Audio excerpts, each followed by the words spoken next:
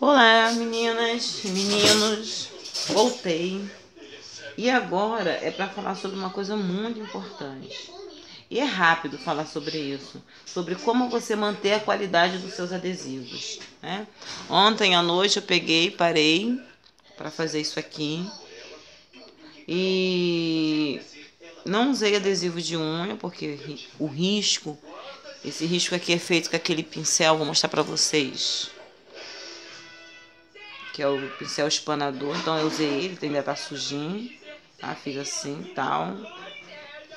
E fiquei pensando nessa questão de qualidade de adesivo de unha, porque eu faço adesivo riscos, né? Deixa eu mostrar para vocês. Eu faço riscos. Eu faço vários modelos de adesivo, pequenininho, vendo a boquinha, tá muito em moda. Faço joinha. Então, a qualidade do meu adesivo é muito importante, porque eu preciso do que o adesivo cubra a unha inteira. Aí, sentada pensando nisso, eu falei, vou mostrar para as minhas clientes sobre a importância de manter a qualidade do adesivo de unha e falar justamente o que aconteceu comigo. O que aconteceu comigo é que quando surgiu a base fosca para fazer o one stroke, a carga dupla, eu fazia base fosca no esmalte incolor. Eu nunca usei esmalte incolor. Então, são o quê? Cinco anos trabalhando com adesivo de unha, sem reclamação. Então, há um ano atrás, base fosca e esmalte incolor. Faço muito adesivo, gente. Eu faço uma porrada de adesivo para mais de mil adesivos. Distribuo. E eu comecei a ter algumas reclamações. E essas reclamações me deixaram um pouco preocupada, porque eu não sabia o que, que podia estar acontecendo. E aí foi quando eu parei para analisar que essas reclamações vieram a partir do momento que eu comecei a usar o esmalte incolor. E como eu também uso os meus adesivos, eu comecei a perceber a diferença quando você finaliza com esmalte incolor e quando você finaliza com a base. A base, gente, ela tem uma estrutura diferente. Olha a base que eu uso.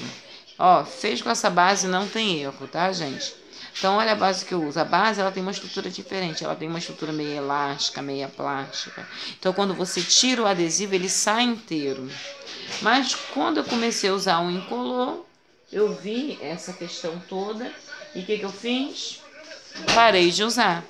E eu também aconselho a vocês parar de usar esse esmalte incolor para fazer o adesivo e fazer só com a base tá? Só usar a base. Aí então vocês não vão ter mais reclamação. Então fica a dica para vocês antes de finalizar.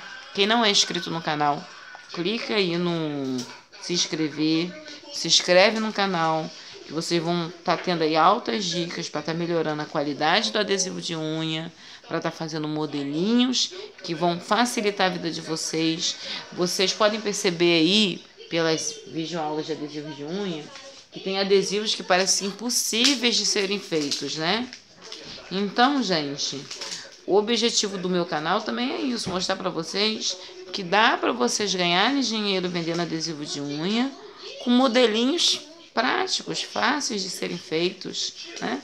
Então, fique aí comigo que vocês vão gostar. Então, Beijinho para vocês, tá?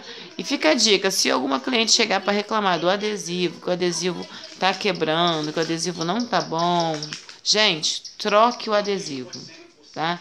Troca, peça desculpa, que não é a mão de vocês, a gente trabalha com produtos químicos mesmo. Dependemos também que a base tenha qualidade para o adesivo ter qualidade. Então, não discuta com a cliente, vai lá, troca com o maior carinho, porque se ela comprou é porque gosta do seu desenho tá? E é independente do, da qualidade do adesivo. A qualidade do adesivo depende da base. Agora, o desenho que ela comprou de você, ela comprou porque gostou do desenho que você fez, né? Então, vou deixar aqui, vou finalizar o vídeo com essa borboleta. Eu mudei aí a posição para gravar as coisas, eu tô gostando, tá? Então, bye bye. Lembrando que as joinhas de unha quem faz é a Estela, né, Estela, minha filha? Então, bye bye para vocês e até a próxima gravação.